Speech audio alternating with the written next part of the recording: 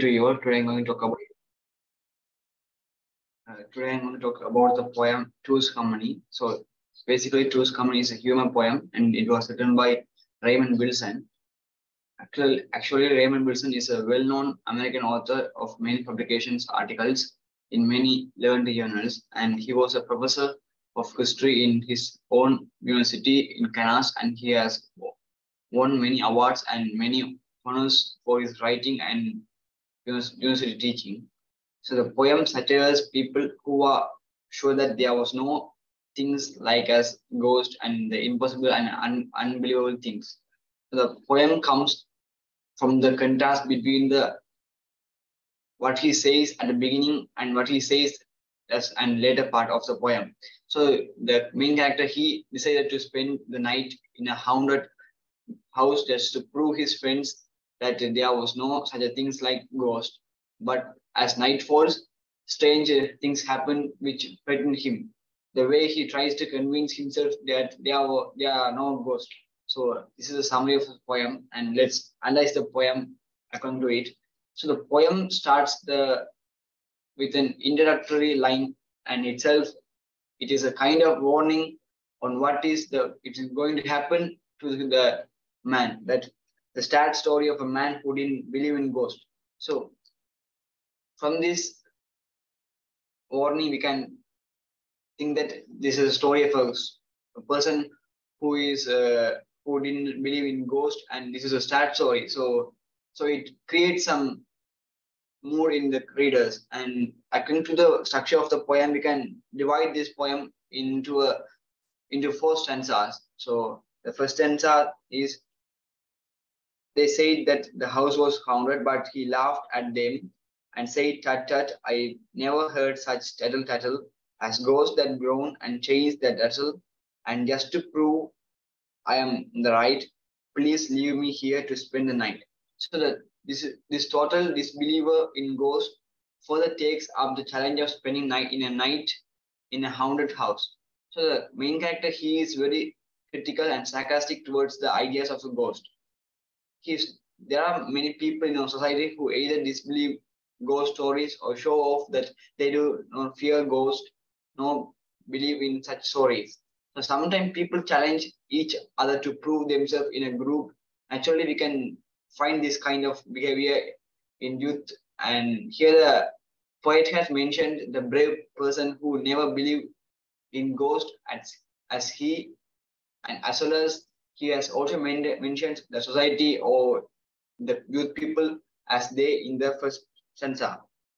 So let's see the second stanza. They they let him just to dusk was falling with a hunchback moon and screech owls calling. But what is that? Outside it screamed as as a chain rattled someone screamed. So here the poet illustrates the scene, bringing visual images to the scene. The environment foreshadows the imminent horror that he's going to face. Thus, the reader gets ready to face, uh, experience something sad or fearsome. So it creates a fearsome mood in the readers, and the behavior of other shows that they know something that the challenger does not know. So they are quite happy that he's going to learn some a lesson. So on the other hand, the hero is happy that he has a sacred, he is, has a scared mission to fight against superstition. So to make a curiosity in readers, the poet has mentioned hunchback moon and screech owl calling. So usually hunchback moon is a metaphor and usually these elements are seen mostly in the ghostful environment. So whenever we take a movie of a ghost, we can see these sound effects and hunchback moon and screech of owls and some strange noises. So it's a basic element of the ghost ghostful society and we can take it as a basic element for the structure for the ghost ghostful environment. So here the point is quite significant in making the scenery of a ghost. So according to the third stanza, but what is that outside is it seemed as it changed until someone screamed, come, come, it is merely nerves, he's certain, but just the same, he draws the curtain, the stroke of 12, but there's no clock. he shuts the door and turns back, turns the lock. Of course, he knows that no one's there, but no harm's done by taking care. So intervention of the poet involves the reader creates suspense. He asks questions from the readers to company listen to them. So it is quite dramatic that the poet introduced the behavior of the hero within brackets, just like as we see in the drama drama script, which evokes humor. That, but just the same, he draws a curtain. Of course, he knows that there is no one. So his behavior is exactly shows the frightened state of mind that shows the reality of the most in society. Although everyone knows that there is no such thing called ghost, everybody fears the devil in the dark cave. And moreover, the writer has also used the sceneries of the ghostful so environment in this sense also that the stroke of 12 and shuts the door and draws a curtain door. So it's a scenery of a environment which has a ghostful society. And when we see the last stanza of this poem, someone's outside the silly joker, he may as well pick up the poker. Uh, that noise again, he cheeks the door, shutter the windows, make a pose to seek the safest place to hide the cupboard storm. He creeps inside. Not that there is anything to fear, he tells himself when at his ear. A voice breathes softly, How do you do? I'm ghost, pray who you are. So, although, although the challenger knows that there is nothing to fear, he arms himself with a poker hiding under a cupboard. The end is quite ironic to the subheading where the reader expects a sad ending but it finds humor. The actions, behavior, and utterance evokes humor, just liking a watching a humorous movie. The introduction of the ghost is rather gentleman-like and deepening the humor. The poetess you mentioned uh, as a voice breathe that he has personified the voice by giving it it the human behavior of breathing. And let's analyze the themes of the poem. That the first theme of the poem is human weakness, that the poem seems to be laughing at the human weakness through the humor, that he laughs at the quality of overestimation of us in the poem. That the, poem, the poem quite mentioned that overestimation of themselves as a great weakness for human beings. For this purpose, the poet has used the material of concept of ghost. So, according to society, ghosts are usually believed as a great fear for the humans and the poet mentions this weakness through the mentioning of brave who has no ideas on ghost. Then the poet has also talked about the dual nature of human being. Even though the man is afraid of ghost, he has mentioned him as a brave man and he didn't believe in ghost. So normally there are many people in a society who are just covering their weakness by showing their showing them as bravery people. So the from this poem, the poet has blasted the purpose and ideas of, the, of such people in the society. So this theme also can be taken as the same theme of the appearance, of reality, that they are covering their reality by their appearance. So we can also judge people by their appearance.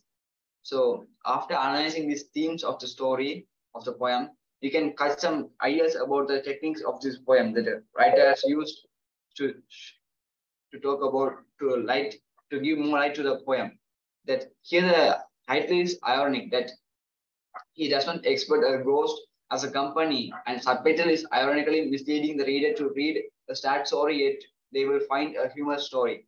So in the whole poem, the poet narrates the story in a humorous tone and he also creates a creepy and uh, humorous mood in the readers.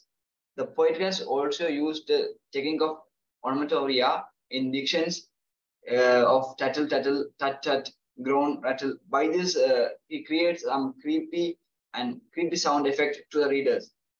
And the whole poem is in a narrative style, and the narration flows smoothly with a regular sequence of incidents. And also, the writer creates some visual imageries in the poem. And the narration brings out some visual Im imageries of every action of the person, and the sequence are well built successfully in the reader's mind.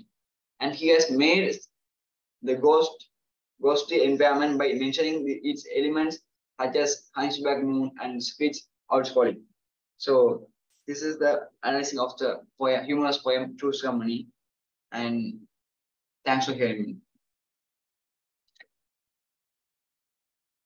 it is a very nice presentation and it will be a, a significant presentation among the presenters that have gathered here. Next, I would like to invite Ms. Archana to deliver her presentation.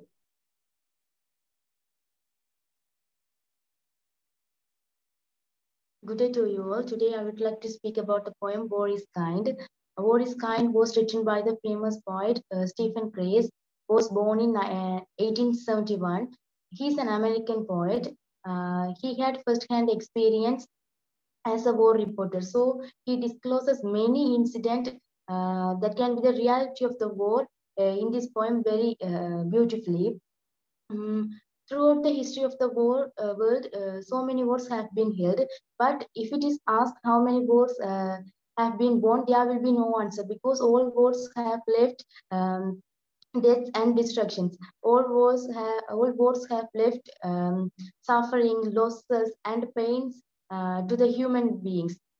And so the war uh, has been a um, curse to the world since the ancient civilization with the name of the god, rivalry, dominant competition, and power. The innocent lives are pushed into the miserable life um, for the uh, without being shown mercy or sympathy for the silly reasons. Uh, so the poet uh, shows the true background that can be behind the uh, war in this poem. Um, the title War is Kind, the poet has used to this poem very wonderfully. Um, this is an uh, actually this is an irony because uh, all we know that um, war is unkind. So um, here the poet uh, uses this uh, title to, to show the dark reality of the war. Mm. To show the reality of the war, the poet has brought three people in front, in front of our eyes uh, whose pleasurable lives are, uh, have been made a question mark because they directly depend on the people uh, who were violently and horribly killed in the war field. Mm.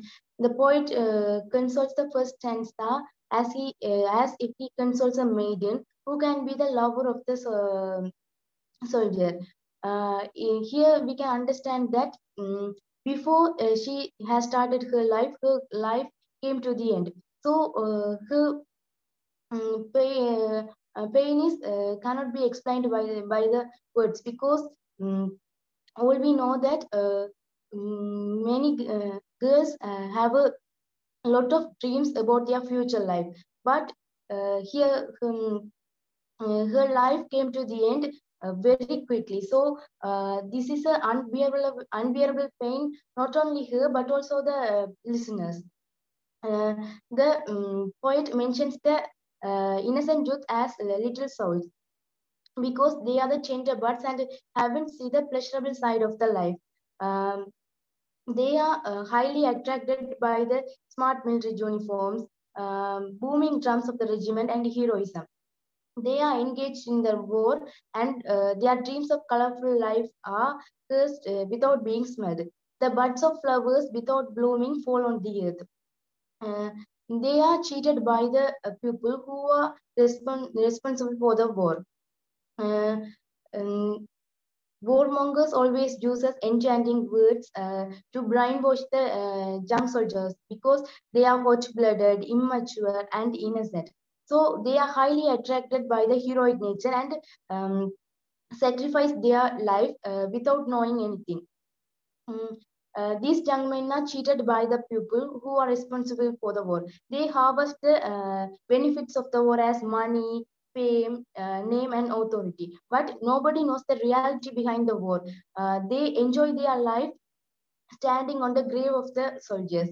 Uh, Jutta said that they are the backbone of the country, but uh, the people who uh, who are in power never realize that uh, they are also souls having the desires of affection and love. Um, they make the war. Um, they make the world um, in a um, unkind. And Next, uh, the poet uh, show, uh, says these men were born to drill and die. Actually, this is the motto of the every soldiers. Uh, in a battlefield, soldiers are expected um, either to kill the enemy or get killed by the enemy. Uh, this phrase clearly shows the uh, reality of the war because um, uh, soldiers are uh, killed as the um, animals are uh, killed in the slaughterhouse for food. this is actually against the humanity. And then the poet shows a child who lost his father. Father is the only hope for children and their future and family. But they also sacrifice their uh, sacrifices their valuable life, leaving his child as an orphan. Um, leaving um, the future life of the child who lost his father will be question mark. Uh, it will be the story of the one whose eyes are tied and left in the middle of the forest where ferocious wild animals are waiting to hunt. Um, who will be the supportive uh, to the uh, future life of the child? It will have to face various problems in the cruel society also. So the poet criticizes the hypocrisy of the war. Then the uh, poet uh, shows the condition of a mother who is in helpless because she loses her um, beloved son in the battlefield. Mother whose heart hung humble as a button. Uh, what is the use of the uh, bride sprinted shroud by covering her dead son? Her remaining life without her son will be dark and lonely. Uh, who will be, supportive to the mother? Uh, no one can answer uh, this question. The poet um, then shows um, how the flag sweetly um, flies, uh, spreading its bright light in all directions in order to uh, indicate the glory of the country. Nobody knows the reality, um, real situation and true uh, background behind the war. Innocent blood and lives of the youth are the main reason for the victory of the war that cannot be accepted by the people. So, um, uh, blazing flag of the regiment. Um, this phrase uh, clearly shows the um, uh, inhuman's action. Uh, great is the battle gold uh, and his kingdom. Uh, here the poet says this in a sarcastic manner because um, the god must be a ready-made protector, but here he, his kingdom is full of dead bodies of the innocent soldiers. So um, the poet shows the, the colors attitude of the war leaders uh, throughout this um, poem. Uh, now we analyze the uh, analyze the themes of the poem. The first theme is hypocrisy of the war. Um, uh, and next is the brutality of the war. Then, uh, then the colors attitude of the war leaders. Um, uh, these themes are clearly expressed throughout the um, literary techniques. Uh, the first uh, technique is verbal irony because here the poet mentions war is kind, but we know that war is unkind. So this is verbal irony. And then he also uses do not weep, war is kind. This is the repetition. Um, here the poet uh, uses this uh, repetition to emphasize the um, unbearable pains of the people. And he also shows the hypocrisy uh, that created by the warmongers. Then he visualizes the many incidents. Uh, for an example, um, death of the father and death of the son and the lover uh, he who um, threw his wild hands towards the sky. Uh, he uh, visualizing the many incidents um, to show the reality of the war. Then he also uses onomatopoeia effect. Uh, booming drum is an onomatopoeia. Uh, the, uh, actually, booming drums uh, gives an energy energy to the minds of the soldiers uh, to um, engage in the war. And then he uses simile. Uh, hung humble as a button is a simile. there's no juice um, of a button in the splintered shroud. Then uh, he also uses alteration, drill and die, great god, uh, other alterations.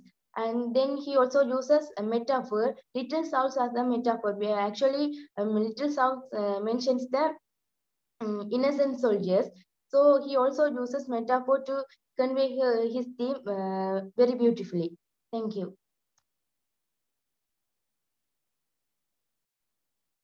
Thank you, Archana, for your mind-blowing uh, presentation about war is kind. Next, I am going to present in the topic of To the Evening Star. A great warm good evening to you all. Today I am going to present about the poem To the Evening Star.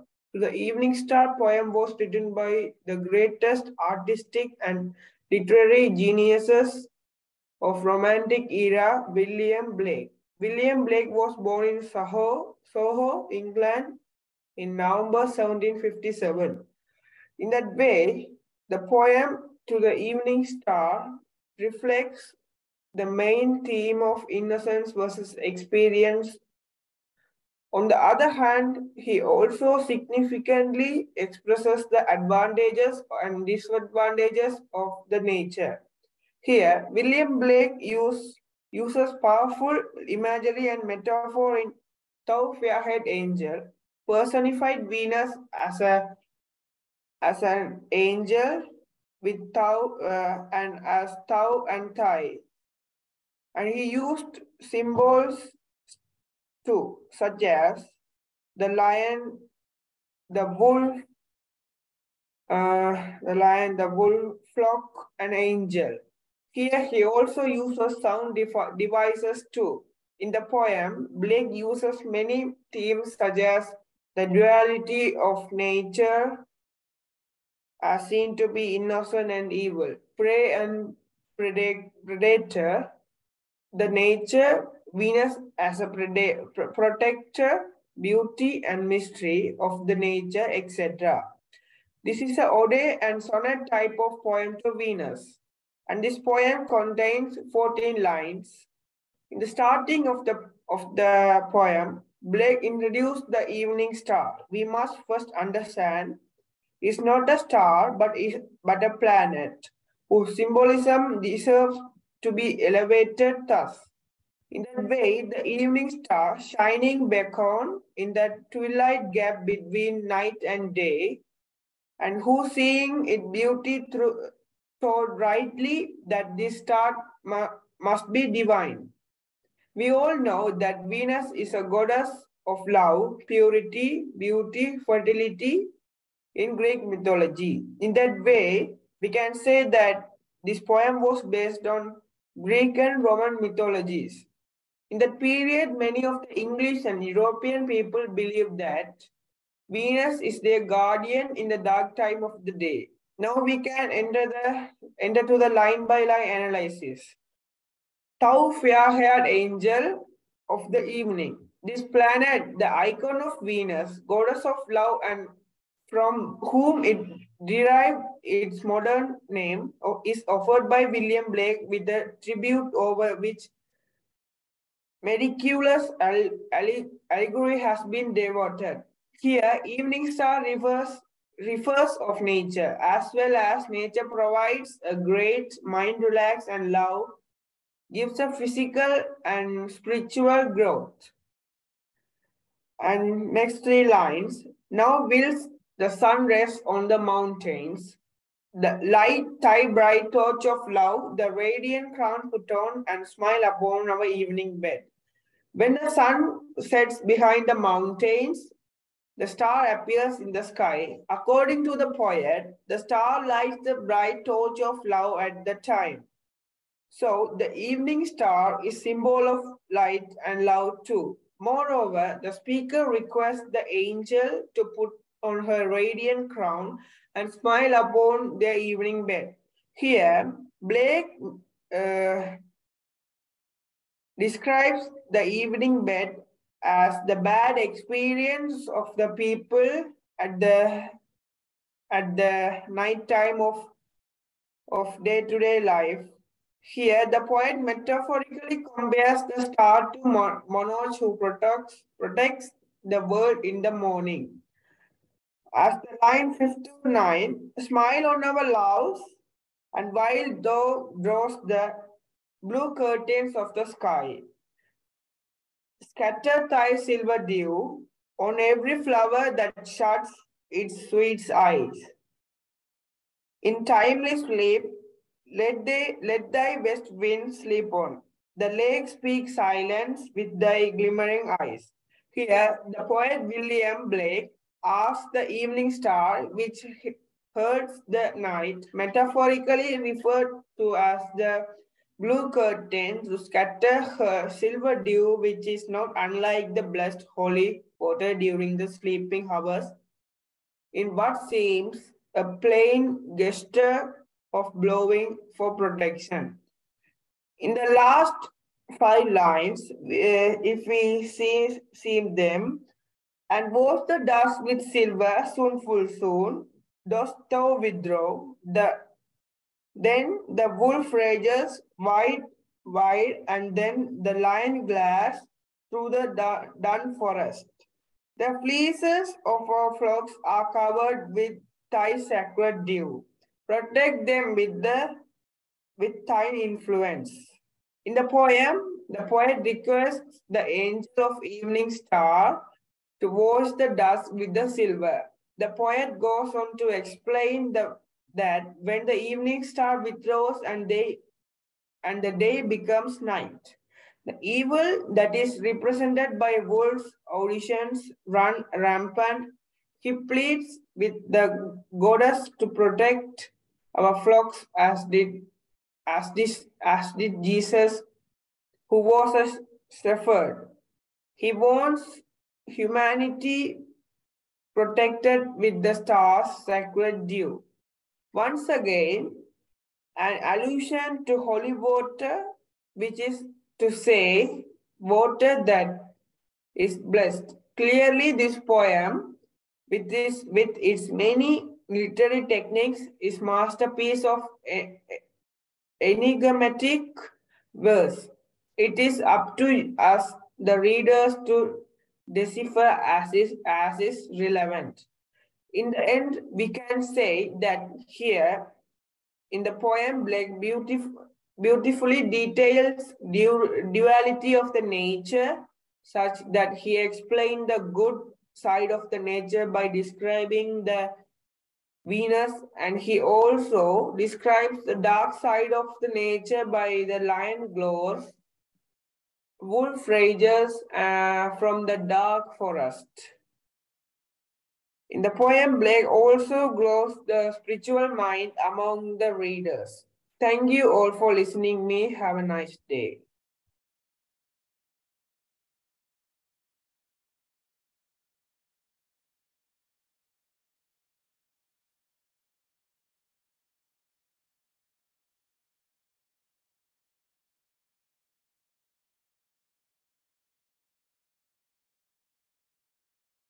Next, I would like to invite Ms. Pradhaini to speak, speak on her topic. Good evening, all of you. Today I am going to talk about The Lumber Room by Saki. The Lumber Room by Saki is a short story written by the outstanding British novelist uh, and a uh, short story writer called Hector Hugh Munro. Uh, he is the he wrote many British uh, novels. Uh, in this prose, um, uh, in this prose is indicate the Sahi's childhood experience and and reflect the real experience.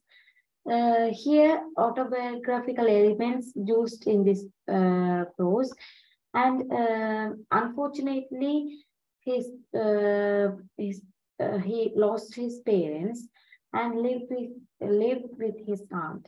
It is one of the unpleasant experience uh, of of the of the child because parents are the real lovers of a child uh, and uh, no one can uh, give the give the um, love as their parents.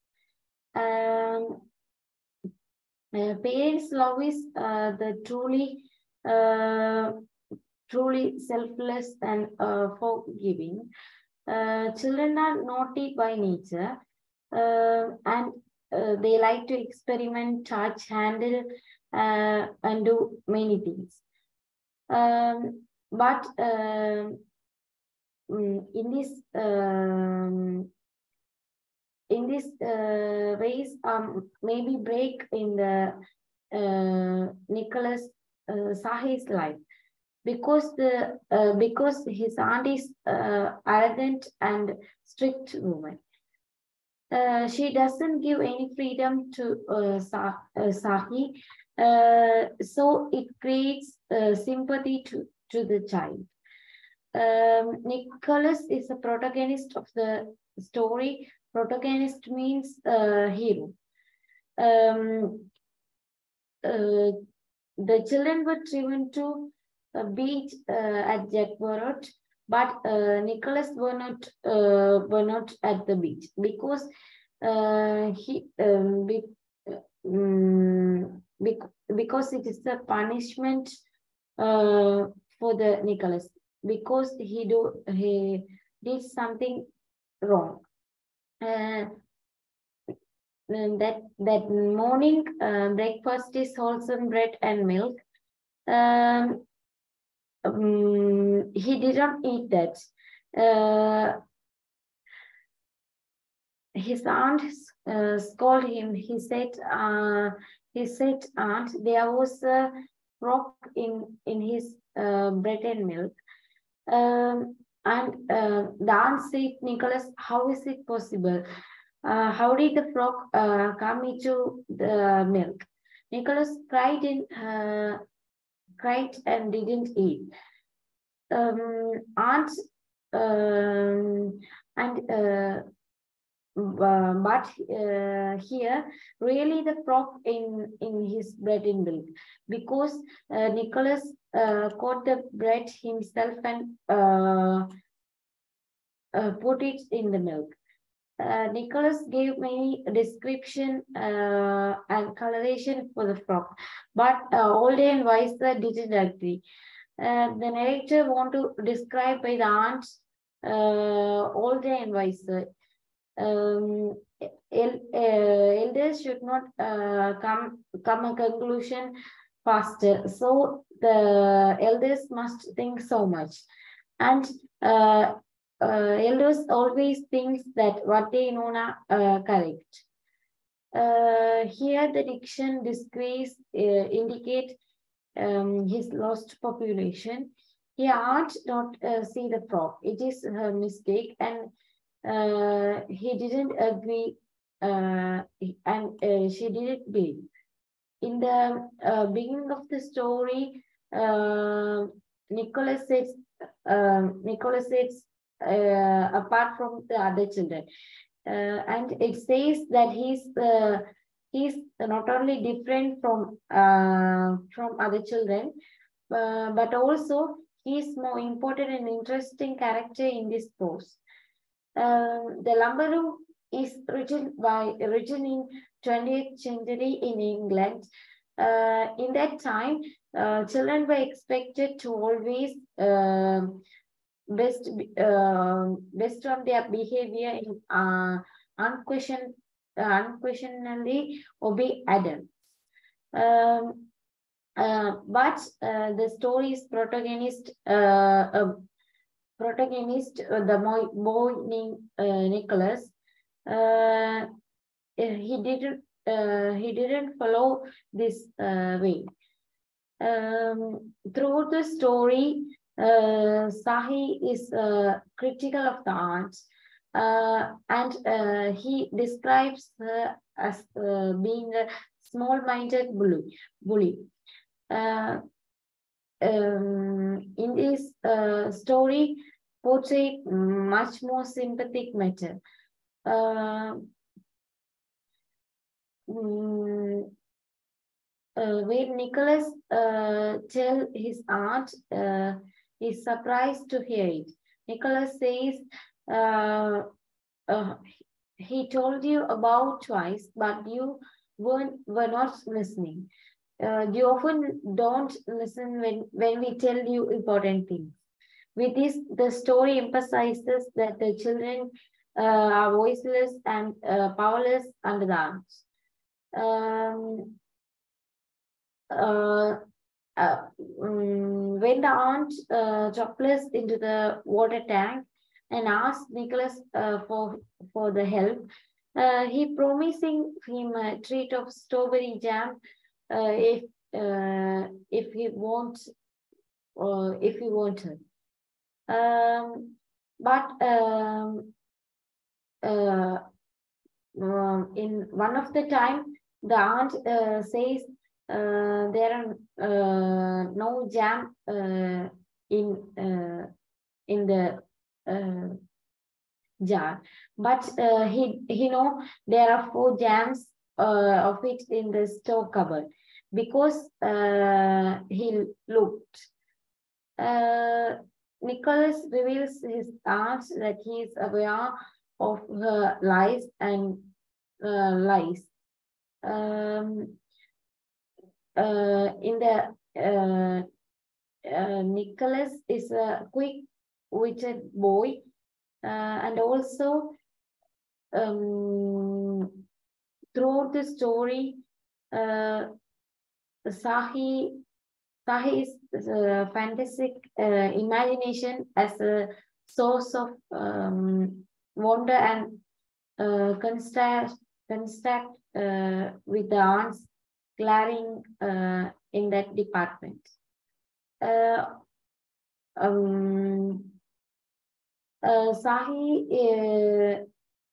Nicholas im- implies strict and uh, aunt is uh, characterized as a dishonest uh, person. Um, um, the aunt is one of the uh, antagonists of the story. Nicholas' cousins um, seems to be only a adult responsible for the four children under her charge. Um, uh, he uh, in, in this story, uh, the lumber room symbolizes the wildest imagination and aunt's dis, uh, decision to bar the children from uh, this room represents uh, her priority and order, orderliness. Uh, in upper class English paper, the, uh, the lumber room was used uh, to store extra furniture and unused uh, un, uh, unused uh, kitchen kitchenaids. Um, it, it is uh, it says uh, the uninteresting uh, room is described as a place of great mystery and uh, wonder in the story. Um, um, uh, finally, I would like to say uh, children uh, uh, children should be treated possibly. Uh, thank you for hearing. Thank you, Pradhani, for your wonderful speech.